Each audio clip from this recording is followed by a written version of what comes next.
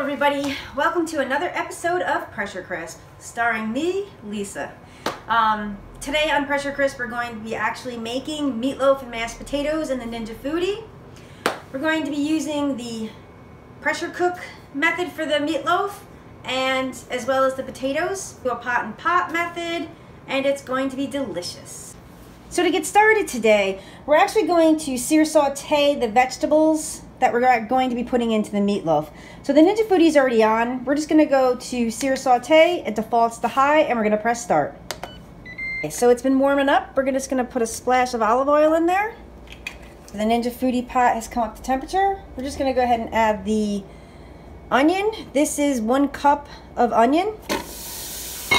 We're also going to add three quarters of a cup of diced red pepper. You can use green pepper if you wish. We're to add a little bit of salt to this, not much, just a pinch. Also a little black pepper. And we're just to give it a stir. Now we're to cook these probably close to five minutes. I find I've made this recipe, I don't know how many times, maybe four times. And I find that th doing this extra step, actually the meatloaf tastes better. So they've been cooking for about four minutes. We're just to go ahead and put in two to three cloves of minced garlic. I'm just to stir this in. Oh, this, this is smelling great already. We're just to cook the garlic probably for a minute to two minutes. All right, so, so this is done sauteing. We're to take this bowl out of here and pour these vegetables off into another dish. So what you see in front of you is two pounds of ground beef, slash hamburger. We're going to go ahead and add our ingredients that are needed for that. We're going to put in three quarters of a cup of, uh, I'm using seasoned bread breadcrumbs today. I'm going to put in a tablespoon of chopped parsley. We're also going to add a tablespoon and a half of Worcestershire sauce. We're also going to add two tablespoons of milk. We're going to add a teaspoon of ground black pepper. We're also going to add a half a teaspoon of salt.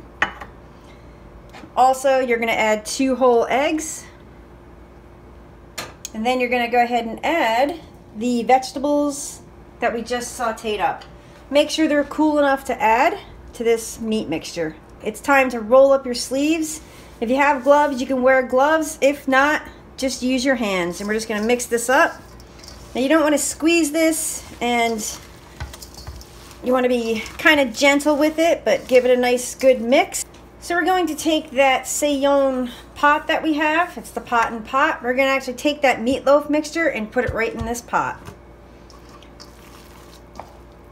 There we go. Whoops. Two pounds of beef will fit in here. What I do, you're just going to press this down just like so. All right, I'm gonna wash my hands. Then you're gonna take your lid and you're just gonna put it right on top of the pot. So to your Ninja Foodi, you make sure the ceramic bowl is in there. You're just gonna take one cup of water and put it right in there. You're also going to use the enclosed metal trivet that came with it and you're gonna take the pot, the Sayon pot, and put it right on there. So gonna grab it by the handles and you can put it right in here. Now we also want to make mashed potatoes. So what I have here is about a pound and a half of potatoes. I'm just gonna go leave them whole and I'm just gonna put them right on top. There we go. We might have to cut some of these in half just to make them fit better. There we go. There's the potatoes on top. You're gonna go ahead and take your pressure lid, put it right on top, make sure it's set to seal. You're going to hit pressure. It automatically defaults to high. And the time, we're going to up this to 35 minutes. Whoops. And you're just going to hit start. It's been cooking for 35 minutes, so now we're going to do a five minute natural release. So the five minute natural release is up. Now we're going to do a manual venting. All right, so red tab is down. We're gonna go ahead and open, take the lid off. Once again, open it away from you because it's gonna be hot and steamy. Shake the lid, put it off to the side. We're gonna take these potatoes and put them in a bowl. Now we're gonna um, lift this pot out and just put it on the counter for right now. Once again, please be careful lifting this out. These pot holders, this is pretty cool. It's amazing how fast these things actually um, cool off. So I'm just going to lift it up. There's hot water on the top, so be careful. So let's just go ahead and take that top off. I'm actually going to use this pair of tongs because there's a, quite a bit of water in here. It is beautiful. We're going to do a quick temp on it. All right, 154, perfect. Because we're actually going to air crisp this now. Now we're going to take this meatloaf out of here and we're going to put it into the tender crisp basket and then we're just going to put a simple glaze on top. I'm going to move that over there for a second. I have the tender crisp basket. I made an aluminum sling so it'll be easier for me to get it out. So I'm to go ahead and put that meatloaf in here. Okay, so just to make that simple glaze, we're just going to take ketchup. I'm really not going to measure anything.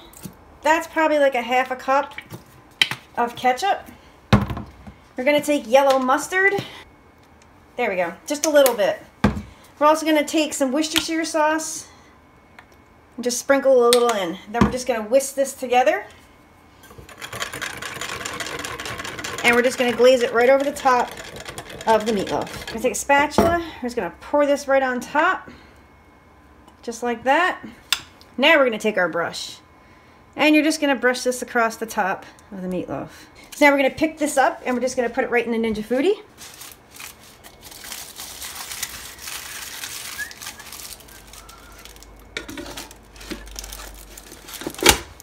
All right, so we're going to hit broil.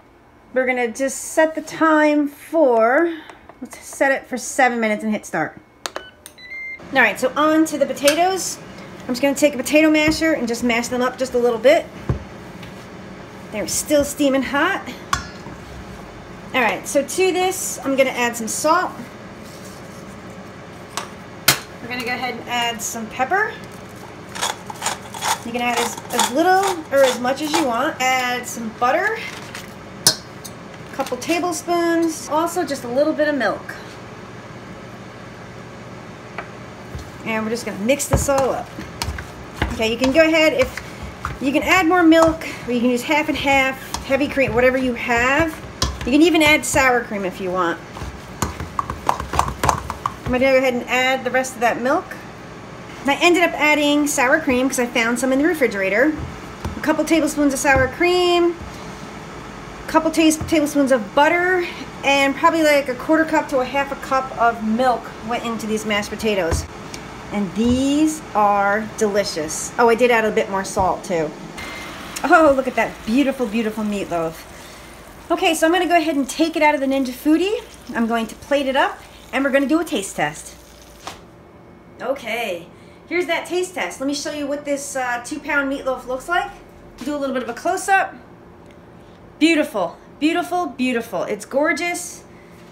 It's not overdone. It's moist. It's great. Let's do a taste test. Give you a little bit of a close up here. There it is right there. We have the mashed potatoes and the meatloaf. Let's go for the meatloaf first. Take a taste. Oops, I keep dropping the pieces here. Mmm. Cooked perfectly. It's delicious. It's moist. Super moist. It's so good. Mmm. Let's try those potatoes. Mmm. It's got the milk, the butter, the sour cream.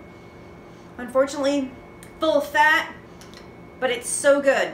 So please like and subscribe, and thanks for watching.